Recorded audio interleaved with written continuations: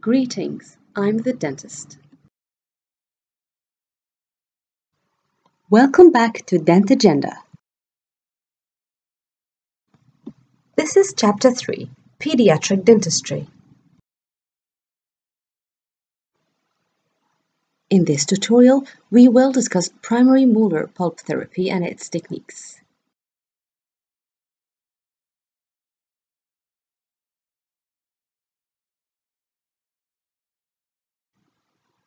These are the points we're going through in this tutorial.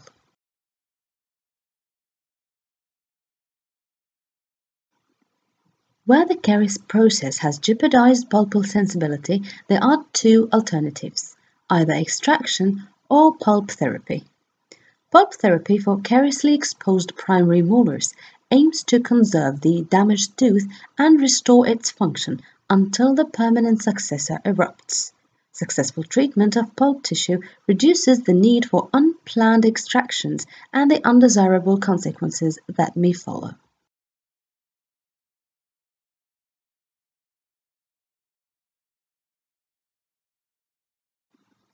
Signs that, when observed, indicate the need for pulp therapy.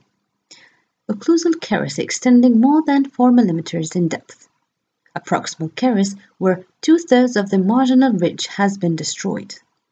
Caries involving or very close to the pulp horns on a radiograph. Mobility or tenderness to percussion. Sinus formation and periradicular bone radiolucency on a radiograph.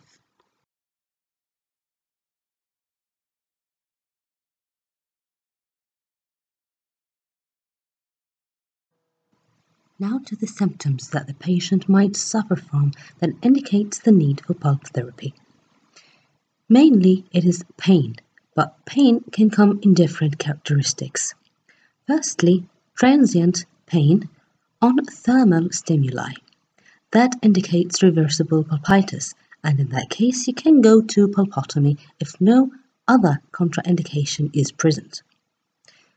Secondly, spontaneous and lasting pain. It indicates irreversible pulpitis, and in that case, your options would be pulpectomy or extraction. Thirdly, pain on percussion or biting on the tooth. This indicates periapical or intraradicular infection, and also in that case, your options would be pulpectomy or extraction.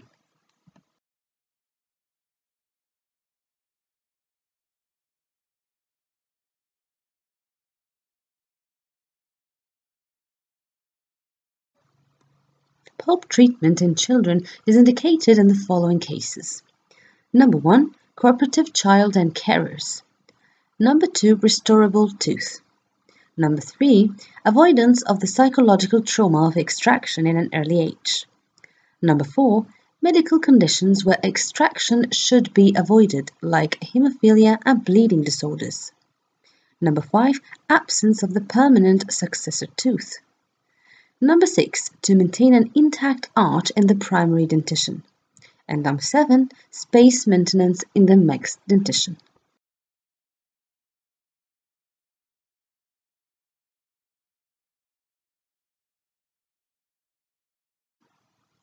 On the other hand, when can pulp treatment be contraindicated? For example, lack of cooperation from the child or the carers.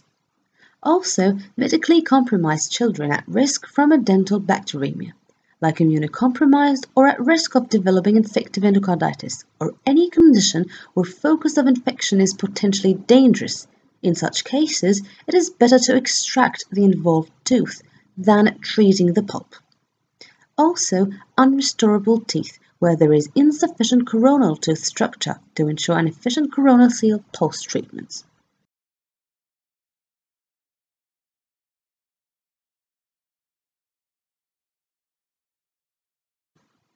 Materials and instruments needed during the pulp treatment.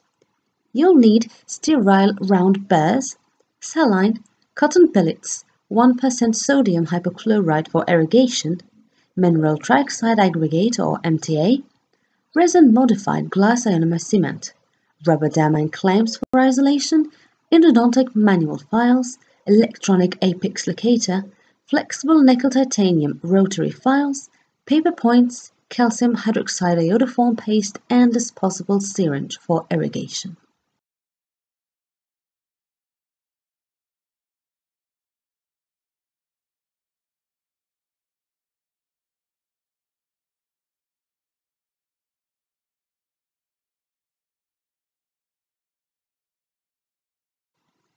Now to the main point of the tutorial, techniques.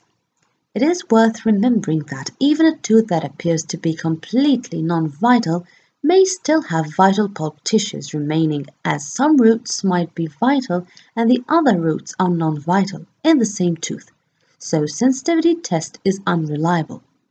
The basic pulp therapy techniques available depend on the extension of the pulpal inflammation and can be broadly divided into three categories. Number one, pulp capping. This involves two approaches, direct and indirect. The direct pulp cap is not routinely used in primary dentition due to poor outcomes. Number two, pulpotomy. It is the removal of the coronal pulp tissues only. This can be performed only on vital teeth, but the technique can differ in respect of choice of medicament and the number of visits required. Number three, pulpectomy. It is the removal of the entire coronal and radicular pulp tissues. This can be used for non-vital teeth, with or without signs of infection. Complete removal of the pulp of the primary tooth, then obturated with a resorbable material not to interfere with the root resorption and permanent successor eruption.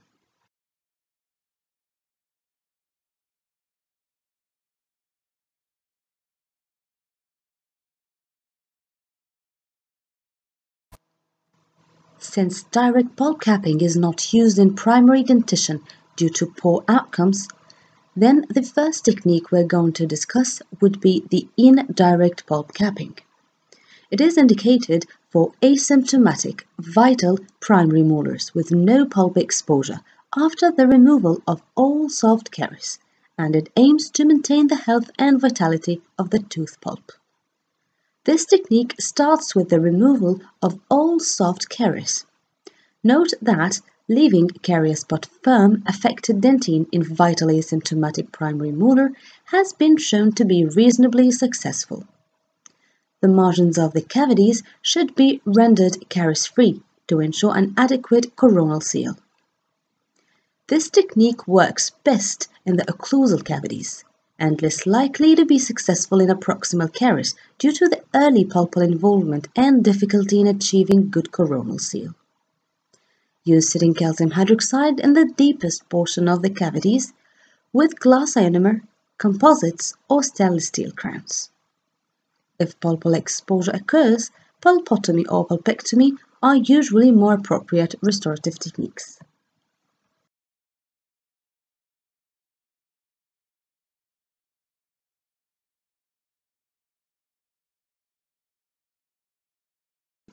The second technique, pulpotomy. It is the removal of the coronal pulp tissues only. In primary molars, the relatively larger pulps result in earlier pulpal involvement. Therefore, amputation of the coronal pulp, leaving healthy radicular pulp in situ, gives more consistent results than other techniques that attempt to retain the vitality of the whole pulp, like direct pulp capping. Materials needed in this technique most commonly used medicaments are formocresol, historically and widely used for primary teeth pulpotomy because of its ease of use and high success rates that ranges between 70 and 90%. However, recent concerns about the toxicity and potential mutagenicity of formalin-containing compounds has led many authorities to advise against its use where suitable alternatives exist. Another medicament is ferric sulfate. That technique recommended by many authorities as an alternative for formocresol. Success rates have been shown to nearly match the formocresol, but are more technique sensitive. Also, calcium hydroxide. It is very time consuming and more technique sensitive, but similar success rates to ferric sulfate in some studies mineral trioxide aggregate or MTA. Recent studies demonstrate similar success rates to Formocresol, but is very expensive compared to other medicaments. Bioactive dentine substitutes.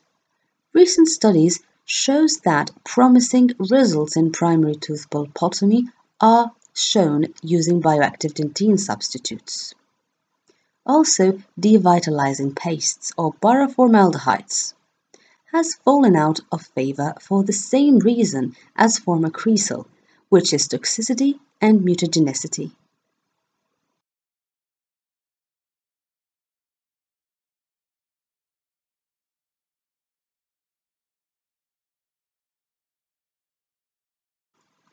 Now let's discuss the pulpotomy technique in details. Starting with giving local anesthesia and place rubber dam for isolation complete cavity preparation and excavate caries. Remove the roof of the pulp chamber. Amputate coronal pulp tissue with a large excavator or sterile round burr. Wash the chamber and arrest the bleeding with damp cotton wool. Place a cotton wool dampened with 15.5% ferric sulfate on the exposed pulp for at least one minute, then remove it. Once bleeding arrested, place calcium hydroxide or MTA over the root orifices. Apply dressing of reinforced zinc oxide-eugenol cement.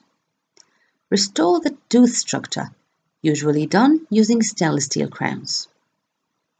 Note that necrotic pulps known with no bleeding. In that case, proceed with non-vital technique, which is pulpectomy or extraction. Profuse hemorrhage indicates more serious inflammation of the radicular pulp. In that case, also non-vital technique or extraction would be more favorable.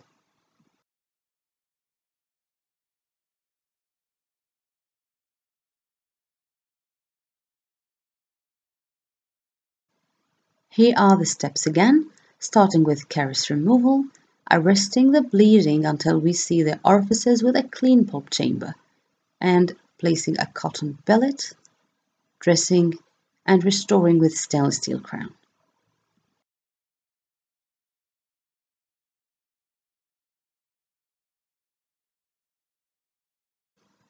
Moving on to the third technique, pulpectomy. It is the removal of the whole pulp tissue, including both coronal and radicular portions. It is indicated in non-vital teeth or teeth diagnosed with irreversible pulpitis without accompanying any signs of internal or excessive root resorption, intraradicular lesion affecting permanent successor, severe bone loss, mobility, or perforation in the furcal area. A pulpectomy is often considered difficult in primary molars because of the complexity of ribbon-shaped canals, although instrumentation is often easier than some texts may suggest. The risk of damage the permanent successor also needs to be considered, but if conditions are favorable, it is the treatment of choice for non-vital pulps.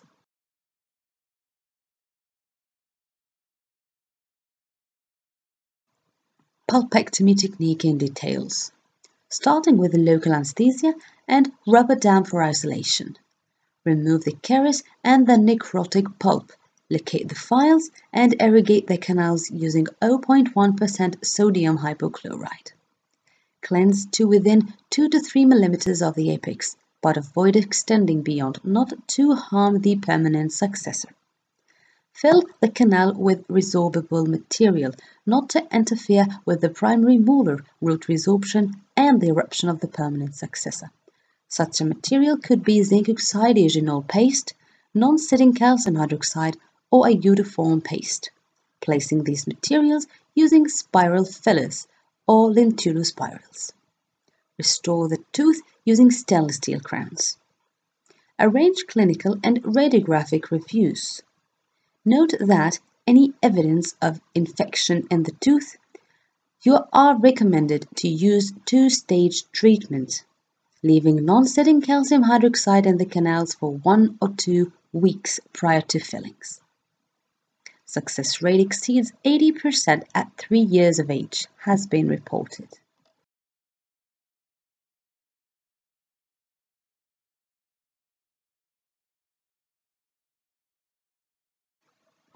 Here is the technique again. Removal of the caries, removal of the necrotic pulp, and placing the files. Irrigating, drying, and filling. And at the end, restoring the tooth with stainless steel crown.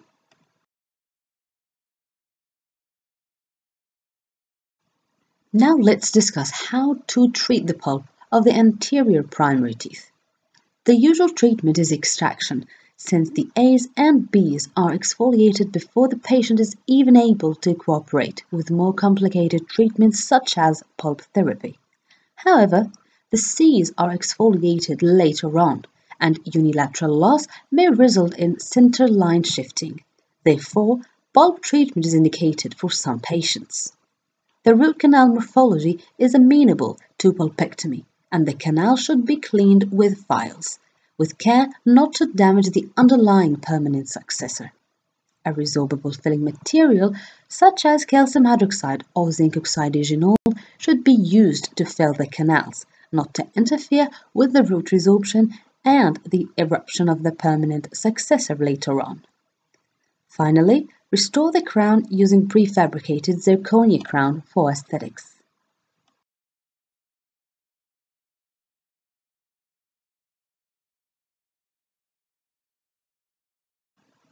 Last but not least, the complications and pitfalls that you may encounter.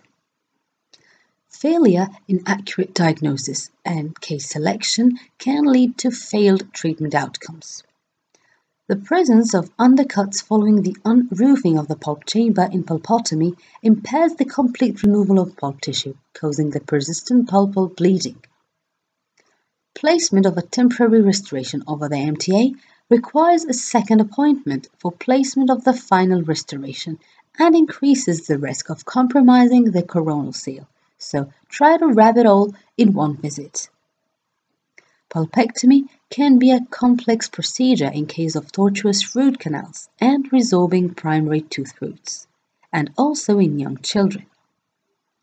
Instrument separation in a primary tooth can be an unforeseen complication. The resorption rate of the calcium hydroxide iodoform paste is faster than that of the root of the tooth.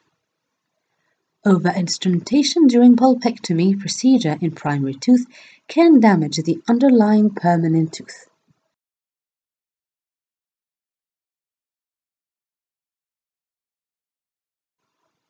And with that, we have covered all the points.